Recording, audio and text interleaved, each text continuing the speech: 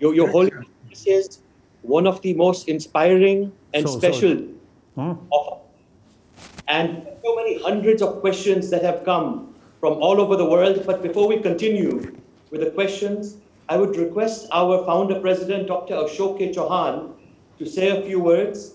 He is the guiding light of Amity. He is considered the architect of modern education in India. He is also a highly beloved figure of India and the world. So we're so uh, happy that Dr. Chauhan, our founder, is online. If I can request him, please, to address the audience, please. Your Excellency, His Holiness, we are, I'm Dr. Shok Chauhan speaking.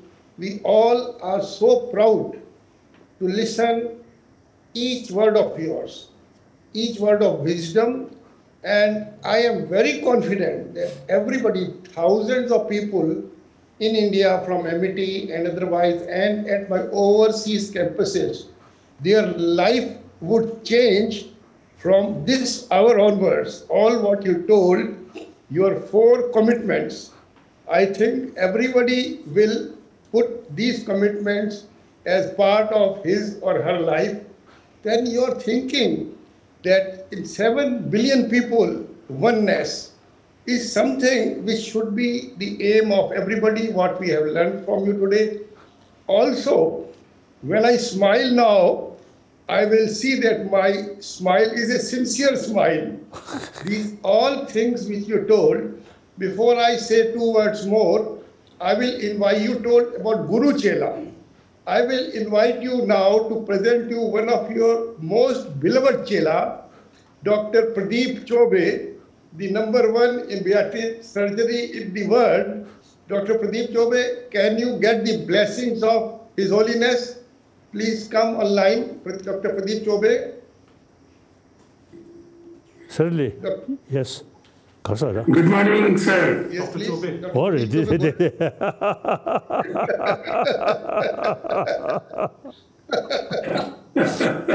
Yes. Oh.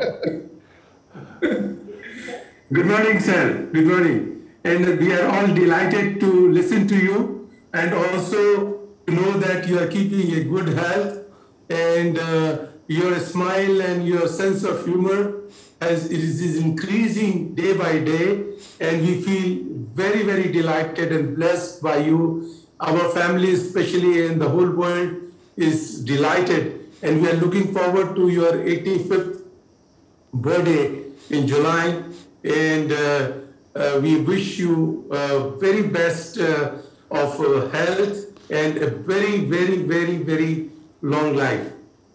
thank you. On, Thank on you. 80, 85th birthday, His Holiness uh, has selected 85 people all over the world. 85 people all over the world, those who will be allowed to pray their greetings. And Dr. Pradeep Chowbey is one of these 85, as he is the most beloved Chela. Also, at the 75th birthday, a book was published and 75 persons gave their comments and prayers and Dr. Pradeep Chowbey was one of them. When the son of Pradeep Chowbey was two months old, his, his Holiness told Pradeep ji, I will come to your residence to bless your grandchild. So this is the this is the commitment of Dr. Pradeep Chowbey that on the basis of your karuna, on the basis of his karuna, he is treating so many people all over the world. And I think, sir, Corona has taught us more karuna, I think. And uh, I will tell to Dr. Atul Chauhan and Dr. Singh Chauhan to make in all our universities, the 10 universities in the country, the Center for Tibetan Studies and Tibetan Ecology. And also, uh, Dr. Silva Murthy, uh, Dr. P.V. Sharma at our 175 acre campus, New York, Long Island.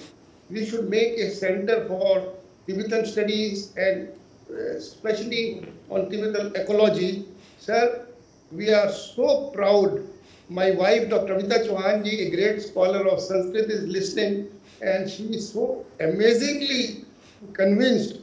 So that to every children in every day, Raman, she told, I will tell all your preachings, and we are grateful for whole life for giving us. I, I think you will remember quite many years back, I invited you on the request of Chief Minister of Delhi, and we had a big meeting in Mavalankar Hall. Yes. I sent a special plane to uh, receive you from Dharamshala, and then we had a dinner at the Chief Minister house, and I remember these memories, and my life has changed. Thank you, sir. We are so grateful, so grateful. Thank you. Thank you. It is my duty, whatever way, uh, from my knowledge, from my experience, make some contribution directly this country. Then uh, indirectly, uh, since India democratic most populated nation, So the, how say the message of India uh, can reach, I think, all over the world. Uh, so then, historically, China, Buddhist country. So many Chinese uh, uh, now today, uh, over 400 millions Buddhists in China. So as I mentioned briefly, it's in the, uh, those uh, top scholar, Chinese, some university, they consider Tibetan Buddhism is a Nalanda tradition. It's very scientific. So, you see, you also, you see, can share the, with uh, your uh, another big nation, most populated nation. Uh, India and China are two most the populated nation. So you can make some significant sort of contribution for a happy world. At present, China, totalitarian system, no freedom of speech, no free press. But that will change, will change. Okay. People uh, Uh, always remain. The government or party from time to time change. So Chinese people, uh, as I already mentioned, you see many Chinese, uh, the uh, government level, you see some criticize me. But people's level, you see they really showing loving kindness towards me. And also they appreciate some of my teaching. Like that. So thank you. See you again. Uh, Before, um, before, before we finish, we would, uh, if you, with your permission, uh, His Holiness, can we take one or two more questions, in fact? One of the brilliant questions is coming from one of our PhD student of nanoscience and technology, uh, Mamta Thakran, who who is saying that because of COVID-19, many people lost their jobs. Businesses and dropping down day by day, and hence they are getting into depression. What can we do to overcome their depression and help them at this hour of crisis, His Holiness? And now the causes or every moment, you see, every thought, you see, due to its cause and conditions. Now you, you should uh, analyze the causes of your depression somewhere. Oh. Now here, one great Indian master of Nalendra, he mentioned when we face some problem, some difficulties, we should analyze if that difficulties or problem can overcome, then no, because of the no need worry, make effort. Uh, if the problem, no way to overcome, then no use uh, worry. very practical, very practical. Uh, so now my own case, uh, when I think uh, 10 years ago, 20 years ago, I'm quite young, now uh, quite old.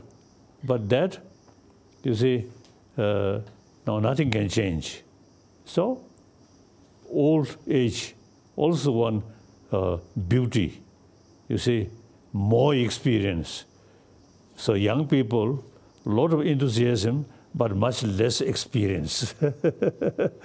so, uh, so old people, uh, as an old person, is try to share. And then young people, uh, physically, mentally young, so full of energy. So thinking these, these lines, if something, uh, uh, uh, something you can cause overcome, uh, then uh, no, no use depression. Thinking, thinking, try to how to overcome. Your then, Excellency, I have hundreds of questions before me, but I know your time is so precious. We are yes. truly blessed. Hmm. But can I take your permission to allow Dr. Rajendra Prasad, one of the greatest scientists I have in Amity University system, to ask a brief question? Yes. Dr. Rajendra Prasad, please. All right. Uh, His Holiness, it's a treat to listen to you and to see you so closely. I have a question out of the topic. My question is that life is unpredictable. If given a chance to rewind your life, will you change it or will do the same thing all over again? What a question coming from the scientist who is asking His Holiness, given a chance to rewind your life, to give you a choice to do it all over again, would you, Your Holiness, come back and bless us for thousands years more?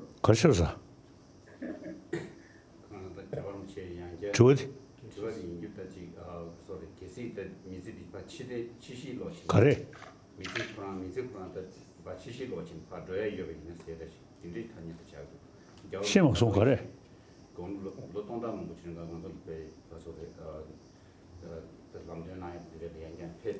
Not very clear. Your question, not very clear. Sir is asking that given a chance in your next life, would you, Your Excellency, like to come back again as Dalai Lama? or, or, or something else. oh, that's my private business. but, you know, my main daily sort of prayer and practice is so long space remain, so long sentient beings remain, I will remain. I already, I think, mentioned. Uh, and then within this lifetime, uh, whatever way I can serve other, uh, uh, that, that's my main sort of purpose of my life then I think we all, as a human brothers, sisters, we are part of the human society. So our very life, not for create more problem to other, this is illogical. The very purpose of our life is try to serve as much as you can to more human brothers, sisters then ultimately, I think the best way uh, to fulfill your own sort of happy life, the selfish is the, uh, what's it, the negative sort of force. Altruism looks sense of more concern about others' well-being. The actually best way to fulfill your selfish desire. Okay. Thank you so much indeed once again, and our our utmost reverence and respect to you and to your entire team for giving us this honor of having you with us at Amity University webinar. Then, then I want to share one sort of story. Yeah. Uh, one occasion in Delhi, yes. see, uh, every morning uh, before my breakfast, I come out my room, and then uh, they always Indian police, you see, uh, always there. So I say, I said hello. Then they also, you see, uh, uh, they expressed to me very warm, very warmly. Then I asked, uh, judging my face, how old? uh, I asked. Uh, then they say about, I think, uh, 70 or something. Then at that time, my uh, age, young, uh, I think already 80 or something. Then, then I told them, my age now over 80 years. Then the police, uh, then I asked, judging my face, how old? They say 70 or something. Mm. Then uh, I teach them, uh, uh, look at my face and then my mouth, uh, quite beautiful. More lipstick, but quite red. then I show the police, or look, my lips uh, and my teeth. Uh, then they, then they also express naturally, you see, very happy smile. Then I, uh, so I acted. then all the police who sort of there, they always, they, they, everyone laughing, laughing, laughing. so I want to share with you.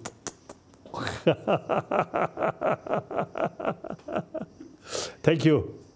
Thank you so much, Your Excellency. Thank you so much. We are truly blessed today, and we wish to thank you and your entire team for giving us this honor to host you in the Amity eminent webinar today, which has been addressed earlier by Nobel laureate Kailash Satyarthi ji and also by the Nobel laureate of Peace, Professor Muhammad Yunus. And we are truly blessed to have you today. Sir, you are much bigger than the Nobel laureates.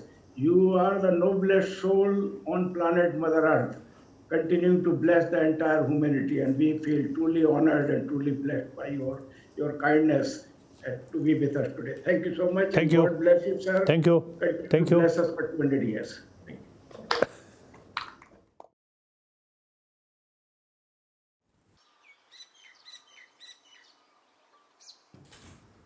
Hello, hello, hello. Good morning.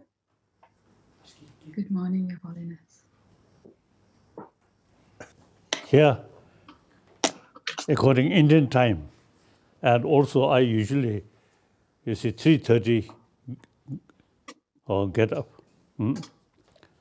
Then about uh, 5.30, my breakfast. You, not yet.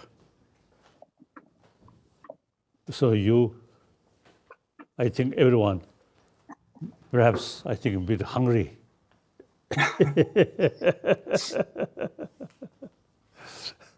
so uh, I would like to uh, express special greetings when your stomach still empty. Thank you. Thank you.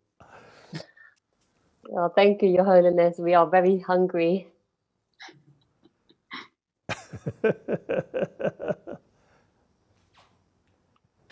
Your Holiness, did you have a good birthday? Karsa. Yes. Happy belated birthday. I feel each day birthday. Yeah. Morning, Indeed. you see, fresh sun coming. So each day is actually a new day, so birthday. Indeed. The important is uh, your own mental attitude. You see, mental attitude, uh, if you keep peaceful mind, then every morning, something like birthday, mo- birthday morning. Indeed. Tashi Delek. Good morning, Your Holiness. My name is Kumangandra Hennady, and I'm the founding director of Center for the Advanced Learning of Mindfulness in the UK. And together with our co-organizer Shine Wellbeing, today we have organized a very special event for you, Your Holiness. Right? Yes. Um, Your Holiness, this is your very first dialogue that you will be conducting with a Western police force. In this early hour in the morning in the UK, we have nearly 1,000 London Metropolitan Police officers, staff, and special guests to hear your advice on developing compassion in uncertain times. On behalf of all of us present here today, first of all, I'd like to wish you a very happy 85th birthday, Your Holiness. We are truly grateful from the bottom of our hearts for all that you do. Now, to moderate this event, um, I would like to welcome Police Constable Diol, the founder of Shine Wellbeing. Thank you, Your Holiness. Thank you. Your Holiness, thank you so much for being with us here today. Happy birthday, and may I say you look youthful as ever. Welcome to everybody tuned in today. A few housekeeping rules before we begin. Please kindly keep yourself on mute, and for those that will be talking, I will cue you in. I am honored to introduce 가. Detective Chief Superintendent Simon Rose to open this event. Over the last year, he has been a champion for Shine within the Met and has been a tremendous support in helping us put this event together. Please welcome Simon Rose. Thank you. Your, Your Holiness, I am very sorry that at the last minute the Commissioner cannot be with us this morning. This is due to an operational matter. The Commissioner really wanted to personally thank you for your time today and also wish you a happy 85th birthday. It is now, though, my privilege to say happy birthday instead. I and all of the almost 1,000 officers and staff listening this morning are truly grateful for the generosity of your time. I know you have only ever spoken to one police service before. We know we are very lucky. That is why almost 1,000 off duty officers and staff are with us 5:30 in the morning London time. We are here to listen to you and learn about developing compassion in uncertain times. One of the reasons we are also here is because of Shine.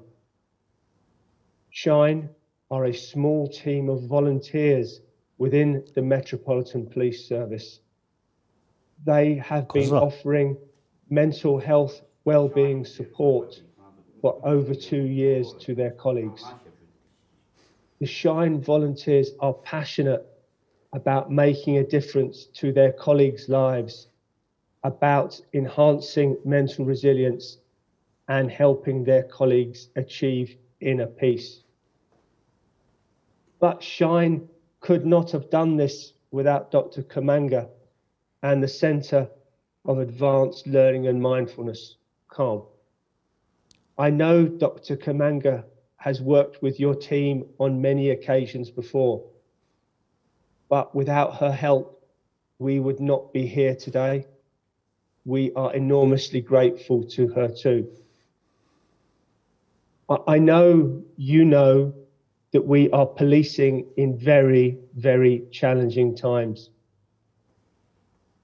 The importance of developing a peaceful mind and mental well-being is now more important than it ever was. So, Your Holiness, we are honored to have you, a spiritual leader, a world leader, a Nobel laureate here today to talk to us. If time permits, we also have 10 officers and staff would like to ask a question afterwards. Yes. But first, can I please invite Your Holiness to share with us your thoughts on developing compassion in uncertain times? Thank you. I feel very happy and a great honor to speak uh, some English 서로 어스데 people. We tibet and British, we have very very close how say link. Uh so when i uh, visit uh, england you see many people you see they introduced to me, they once uh, posted in Lhasa. So, uh, and then, I think 1914, Injima Miyad. Right. 1904. Oh, no, 1904. The 1904, the British, uh, whether called army or soldier, came to Lhasa. Very peaceful. Then the, the I think name of the uh, head, Younghusband. You see, he uh, very, very peaceful. Uh, if may I say so, unlike Chinese soldier, the British, uh, the army, uh, most of them Indian, uh, their station in North Potala. It's very peaceful. Then they, uh, at that time, Dalai Lama fled to Mongolia, through Mongolia to China. The, uh, the acting sort of the uh, Dalai Lama. Oh. You see, he gave the young husband one Buddha statue. That Buddha statue, when I visit London, uh, you see, he kept, I mean, his family kept that Buddha statue. Uh, and then he very much impressed Tibetan sort of spiritual atmosphere. So he st- start small organization about uh, religious spiritual organization. I have been there. So in any way, uh, we have very uh, historically very close link and uh, during India as a sort of uh, British colony, so the mission in Lhasa always one English, the Englishman. So uh, whenever you see they uh, come to see me, they usually see, carry some toy. So when I received is the uh, information, the uh, British mission coming to, to see me, I expected, oh, something. so we have some special connection. So uh, I'm very happy uh, you see this opportunity, uh, meet talking, talking to a number of Englishmen. And Sri Lanka, oh, you see, uh, basically Buddhist country. Uh, so I always you see uh, express the Asia non-violence. Hindi word ahimsa, non-violence. And uh, that combined with karuna, karuna, compassion. So over 3,000 years, you see, in India, that concept developed. Uh, so now today, the, the thousand-year-old India sort of concept of non-violence, compassion, this today's world, uh, or I think generally to humanity, very, very sort of relevant, you see, these concepts, non-violence and compassion. Uh, so now, uh, time always moving. Uh, but now, uh, the, whether we, the question is whether we uh, properly use time or not. So everything is it depend on our own shoulder. So now here, I want to uh, to share with you the Western sort of culture, mainly materialistic thinking. Uh, Asia, uh, the thinking, as I mentioned earlier, compassion, non-violence, you see, these are related with our inner world. So usually I describe hygiene of physical. That's uh, Western world or whole world. You see, they're taking care, hygiene of physical. But now we need hygiene of emotion. That is something very important.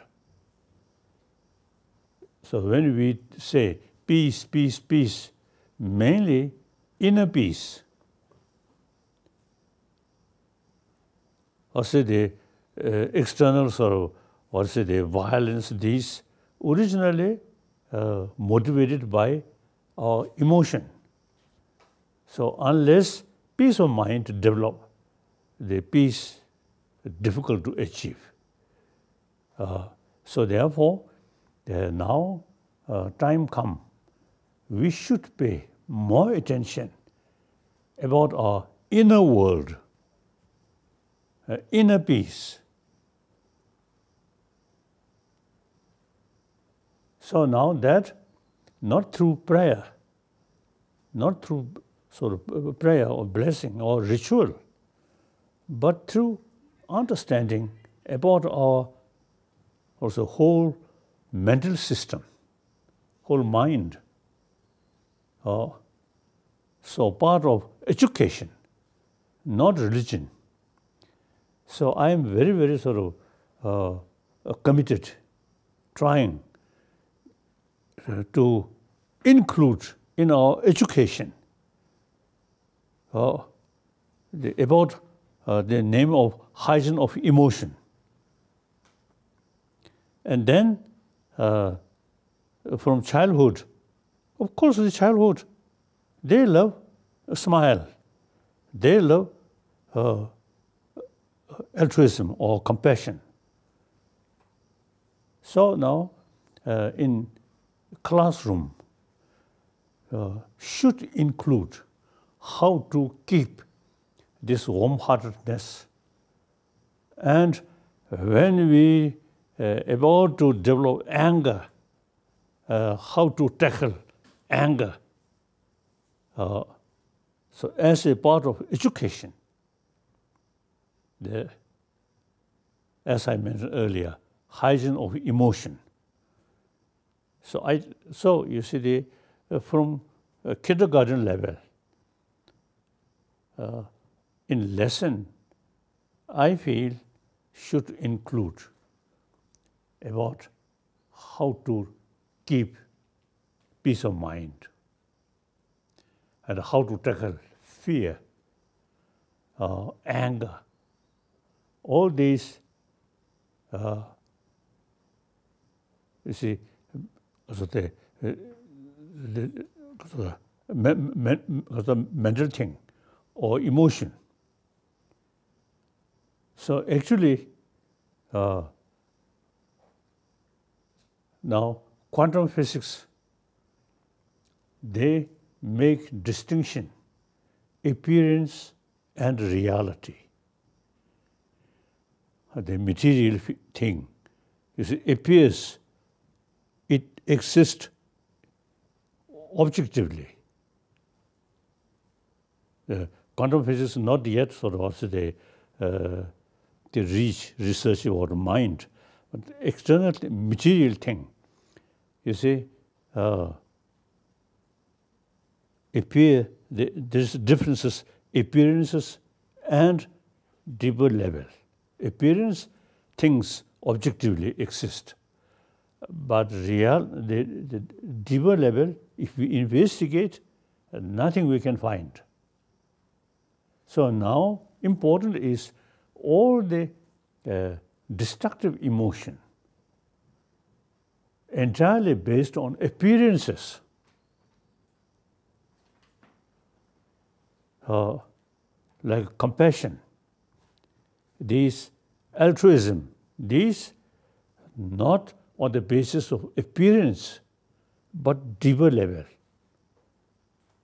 So therefore, the uh, all uh, destructive emotion very much related with appearances.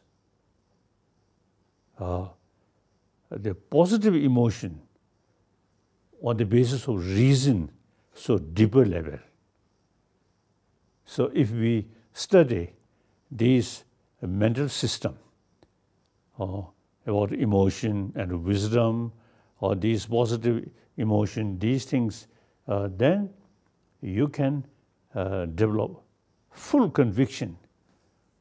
Uh, destructive emotion, uh, such as anger, jealousy, these not uh, based on sound reason, but just appearance and then grasping uh, the, the, the the, so, if, if, so the appearance, you see, you, you, you feel, oh, this is something bad, this is something good. Then uh, anger, fear, these things come. So now already uh, some uh, student in China who study quantum physics, you see, they uh, express the, as a student of quantum physics, you see, the, when things appears, you see, not much sort of grasping. So, uh, in such case, much easier, you see, to tackle destructive emotion.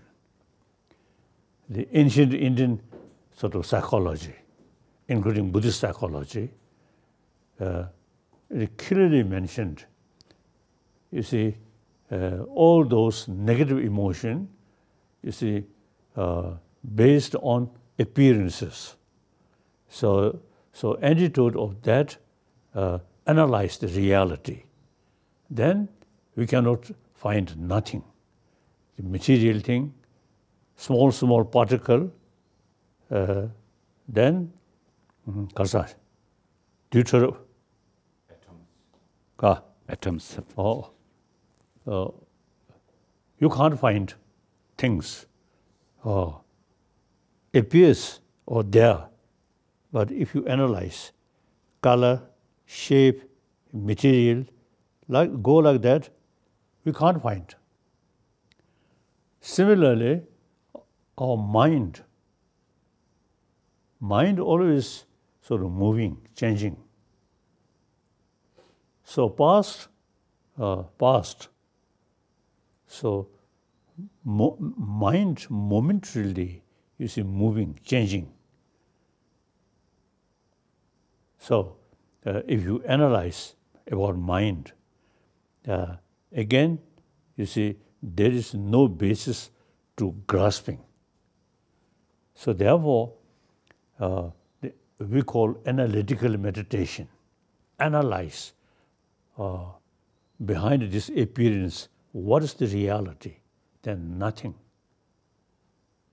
So because all destructive emotion based on appearances, that when we analyze, you see nothing, so that very basis of destructive emotion then reduce.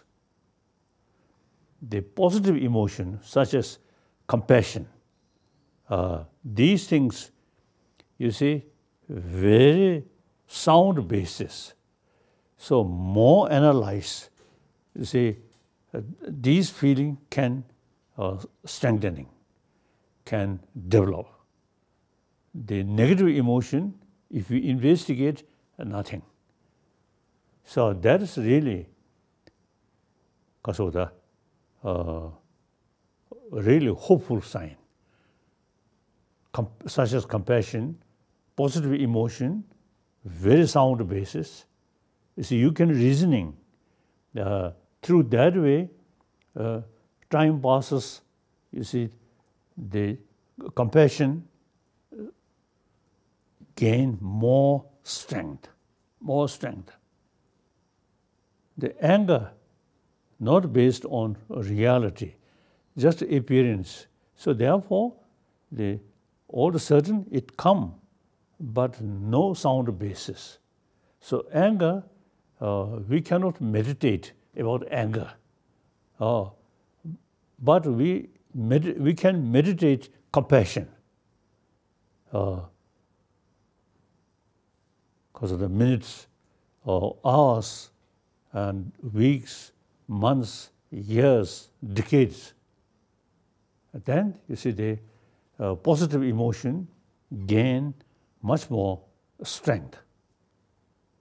Then eventually, the, those uh, destructive emotions.